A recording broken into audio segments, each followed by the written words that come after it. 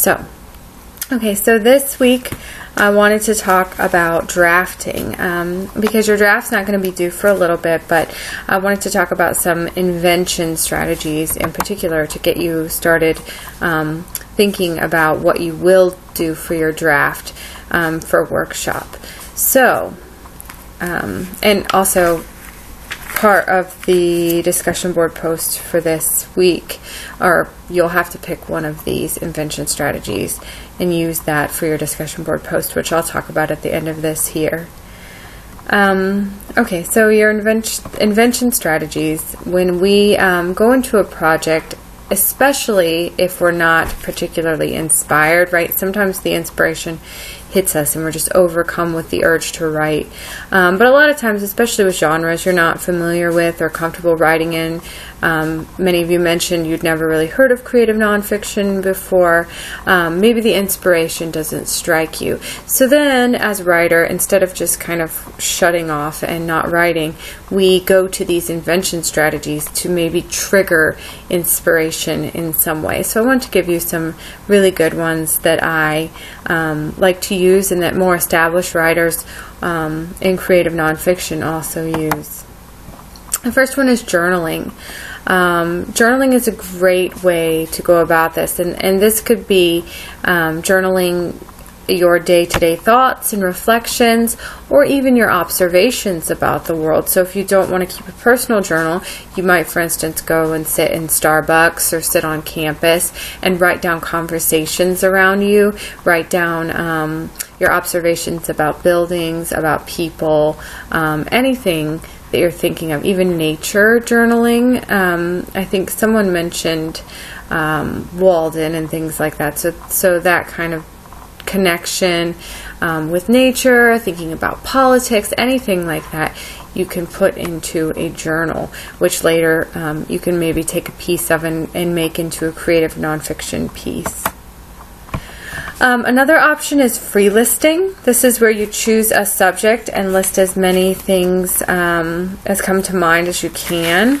So, for instance, I might um, choose a subject of um, foods I've eaten and list as many foods I've eaten as possible. And through that, I might trigger some um, remembrance of a really strange or emotionally um, resonant meal that I had with a, a, family member or with a friend, or I might think of a time when I was in another country and I ate something that I wasn't um, typically exposed to, and that might create or generate a story too. Um, you could also free list um, qualities of your father or something like that, and that'll bring you even closer to character sometimes too. Another invention strategy are line starters, um, and that goes a few ways. There are a few ways you can do this. You can kind of look through um, books or poems or things like that for the ways that um, people start their pieces and use those lines to kind of jump off into your own reflections or your own writing. Um, or here's some tried and true line starters for you. Um, these work especially well to kind of retrieve memories that lead to memoir or kind of more personal writing. So one is I used to blank, but now I blank. So any two words that you could put in there. Um, I remember blank. Um, I don't remember blank. So I don't remember, for instance, the when I learned to tie my shoes. Um, I don't remember the last time my parent held me in their arms. Um, but I do remember, so kind of going off of, of those line starters. Um, another one is if I had to do it again, I would blank. Um, so if I had to um, take a class again or, or something like that. A saying I always heard around the house was blank. Um, for me, I might say a saying I always heard around the house is if you do t- something 20 times, it becomes a habit. Um, so that might lead me to talking about something um, that I tried to do and make it a habit that either failed or, or was successful. Um, the first time I heard the song Blank, I was, or we were blank. Um, so this might be a more musical reflection. Um, I know some of you are particularly interested in music. Um, blank is the sort of person who blank. So going off the family um, thing, my mother is the sort of person who stuffs um, all of her receipts into one drawer, right? So a little fact like that, you could jump off into a story. Um, and then another, the last one that I'm going to mention here is one rule I never live by is blank. So think about something you never do, a rule that maybe everyone else follows that you you refuse to follow. Um, and that could be interesting and unique way of, of talking about yourself or, or entering into a story. The next one is a memory chain, and I'm going to read you a little um, passage by James Moffett here. Um, who developed this idea of the memory chain. Um, he says, You choose an object in the room, say it's a water bottle. You ask yourself what the water bottle reminds you of and wait for a memory to arise.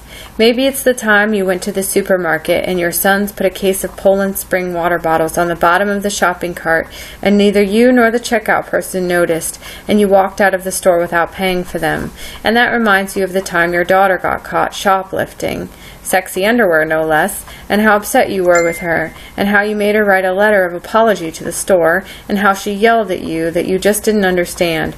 And that reminds you of the time you that you, at age 13, shoplifted lipstick and wished you'd had the courage to apologize. So you see, you kind of find an object and let the memories chain off of them by by association um, until you come to to some idea. But for invention, you just kind of let it go and go as long as the chain will go at this point. The next one is clustering, which is kind of related. Um, I'm sure some of you have done this for other writing classes or ideas. That's where you take a piece of paper. Um, I have an example here in this, this book. Hopefully you can see it here of this cluster. Um, you take an idea and you um, write a word in the center of a circle. In this example here, they have the word purple. Um, and then you can branch off with lines and new circles, and, and they use sunset and lively, which I don't really think of a, a sun's purple as being a sunset, but um, it's kind of you think of words that go out and out and out um, until you come to another idea that um, maybe will will make you um, inspired to write a larger piece, perhaps even around kind of one word. Another idea is to use photographs to trigger. Um, this can be pictures from your childhood. This can be um, pictures that you have around the house, pictures that you find in a book or online. Um, those can trigger ideas. Um, you can find a picture, for instance, of a former you. So you, but maybe a moment that you don't really remember. Um, that's an interesting way to f- reflect back on yourself, or maybe your mother when she was much younger before you knew her. Um, all of those things can generate ideas and thoughts. Another um, way is through making a map. You can actually physically draw a map um, and this will help you remember things too. For instance, your childhood home, your bedroom, um, the street you grew up on. You can make a map of your best friend's house.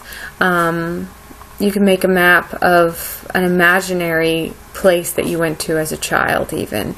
Um, that would be a really interesting and lyric way to approach this. Um, but if you're more of a visual person, I think, Sam, you mentioned you enjoy um, art, you might draw a physical map to enter into this assignment. Um, another way is research. We've talked about research a little bit, and um, the Brian essay, he used research. But um, another way to use research, I don't know if any of you have read the Maggie Nelson lyric um, hybrid genre piece called Bluets. Um, but in this book, she researches blue, um, and she researches, for instance, scientific ways our eyes see blue. Um, she researches things like the bowerbirds who collect blue pieces for mating. Um, any possible thing related to blue, she researches, and really, she does this because she's just she's obsessing over this color blue. But through her obsessive research and exploration and reactions to the color blue, we can see that she's also dealing with her own depression and and her own sadness um, after a breakup. So all of this kind of clustered and and and moved together really unfolds a deeper meaning um, and a deeper connection to Maggie Nelson, the writer of this work. Um, so, if you're interested in research or if you have a subject, um, for instance, I, as when I was younger, I just obsessively researched um, Anastasia Romanoff. So I was there was something about her which interested me and connected me in a, a strangely kindred way, or someone like Anne Boleyn, someone that you feel a connection to. Um, you might just start researching as much as possible, and then you can kind of talk your way through that and connect in in a different way too. Um, another idea is to make a timeline. So to start, um, for instance, with your age. So start with infancy and think about um, you know what was happening inside you uh, internally and externally in and in the world at that time. So you can go through from infant to maybe five years old and think about okay what year was that? What was happening in the world? Um, and what were you feeling emotionally? And what was happening um, with your family or, or outside of you? So the conflicts for each year of your life is another really interesting way to find and locate these memories. Um, so let me move back here a minute. Oops. Okay, so for your discussion post this week, choose one of these that I've talked about. It does not have to be a finished piece.